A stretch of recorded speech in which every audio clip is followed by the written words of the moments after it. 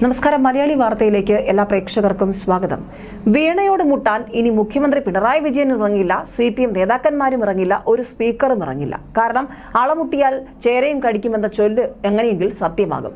കൃത്യമായ മറുപടി നൽകണമെന്നും അവ്യക്തമായ മറുപടികൾ ആവർത്തിക്കുന്ന ശൈലി അവസാനിപ്പിക്കണമെന്നും പറഞ്ഞുകൊണ്ട് നേരത്തെ സ്പീക്കർ ആരോഗ്യമന്ത്രിയോട് ചിലതൊക്കെ ആവശ്യപ്പെട്ടിരുന്നു. പേ വിഷ വാക്സിൻ വിഷയത്തിൽ സഭയിൽ വീണ ജോർജ് നടത്തിയ പരാമർശത്തെ സ്പീക്കർ തിരുത്തുകയും ചെയ്തിരുന്നു. പക്ഷേ ഇനി കാര്യങ്ങൾ മാറി മറിയുമെന്നാണ് റിപ്പോർട്ട്. കേന്ദ്ര മരുന്ന് ലാബിന്റെ പരിശോധനാ റിപ്പോർട്ട് ഇല്ലാതെ സംസ്ഥാനത്ത് പേവിഷ വാക്സിൻ എത്തിച്ചത് ആരോഗ്യമന്ത്രിയുടെ മാത്രം മറുപടിയല്ല സർക്കാരിന്റെയും മറുപടി അങ്ങനെ ഇനി പല വിഷയങ്ങളും നിയമസഭയിൽ പ്രതിപക്ഷം എടുത്തിട്ടാൽ ആരോഗ്യമന്ത്രിയുടെ തലയിൽ മാത്രം കുറ്റം വെച്ച് ആർക്കും കൈയൊഴിയാനാകില്ല.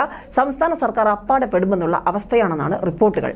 ഏതായാലും വാക്സിൻ എത്തിക്കുന്നതിന് മുൻപ് ജൂലൈ പതിനഞ്ചിന് ആരോഗ്യമന്ത്രി വീണ ജോർജിന്റെ ചേംബറിൽ കേരള മെഡിക്കൽ സർവീസസ് കോർപ്പറേഷൻ അധികൃതർ യോഗം ചേർന്ന് ഇക്കാര്യം ചർച്ച ചെയ്തിരുന്നു.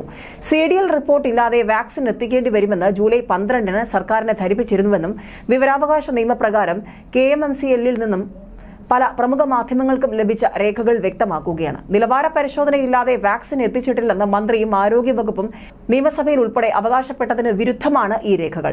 സംസ്ഥാനത്ത് പേവിഷ വാക്സിൻ ആവശ്യം കൂടുകയാണെന്നും സ്റ്റോക്ക് മതിയാകില്ലെന്നും ജൂലൈ പതിനൊന്നിനും പതിനഞ്ചിനും K M M C L തയ്യാറാക്കിയ കുറിപ്പ് ഫയലുകളിൽ പറയുന്നുണ്ട്. ജൂൺ ആറിനാണ് രണ്ടായിരത്തി ഇരുപത്തിരണ്ട് ഇരുപത്തിമൂന്നിലേക്കുള്ള ഓർഡർ നൽകിയത്. സർട്ടിഫിക്കറ്റോടെ വാക്സിൻ ലഭ്യമാക്കാൻ തൊണ്ണൂറ് ദിവസമെടുക്കും. നിലവിൽ മുപ്പതിനായിരം വാക്സിൻ നിർമ്മാണം പൂർത്തിയാക്കിയിട്ടുണ്ടെന്നും അതിന് സി ഡി എൽ സർട്ടിഫിക്കറ്റ് ലഭ്യമായിട്ടില്ലെന്നും കമ്പനി അറിയിച്ചിട്ടുണ്ട്. കേന്ദ്ര ലാബ് പരിശോധനയില്ലാതെ വാക്സിൻ എത്തിക്കുന്നത് സംബന്ധിച്ച് കെ എം എം സി എല്ലിലെ ഫയൽ കുറിപ്പുകൾ ജൂലൈ പന്ത്രണ്ടിന് സർക്കാരിന് ഇക്കാര്യം അറിയിച്ചിട്ടുണ്ടെന്നും പതിനഞ്ചിന് മന്ത്രിതല യോഗത്തിൽ ചർച്ച ചെയ്തിട്ടുണ്ടെന്നും കുറിപ്പിൽ വ്യക്തം. ഓഗസ്റ്റ് പതിനഞ്ച് വരെ പിടിച്ചു നിൽക്കാൻ ഇതിൽ പതിനാറായിരം വയൽ എത്തിക്കാൻ കമ്പനിക്ക് K M M C L അനുമതി നൽകി. നടപടികൾക്ക് അംഗീകാരം നൽകണമെന്ന് പന്ത്രണ്ടിന് സർക്കാരിനോട് ആവശ്യപ്പെടുകയും ചെയ്തു.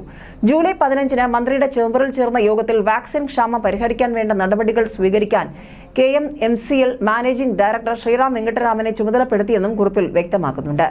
വാക്സിൻ എത്തിക്കാൻ പതിനാലിന് കമ്പനിക്ക് നിർദ്ദേശം നൽകി. പതിനഞ്ചിന്റെ മന്ത്രിതല യോഗത്തിൽ നടപടികൾ വിശദീകരിച്ച ശേഷം അന്ന് രാത്രി ഒൻപത് മണിയോടെയാണ് വാക്സിൻ തിരുവനന്തപുരം വിമാനത്താവളത്തിൽ ഇറക്കുന്നത്. എറണാകുളം കോഴിക്കോട് സംഭരണ കേന്ദ്രങ്ങളിലേക്ക് പതിനാറിന് എത്തിക്കുകയും ചെയ്തു. ന്യൂസ് ഡെസ്ക് മലയാളി വാർത്ത.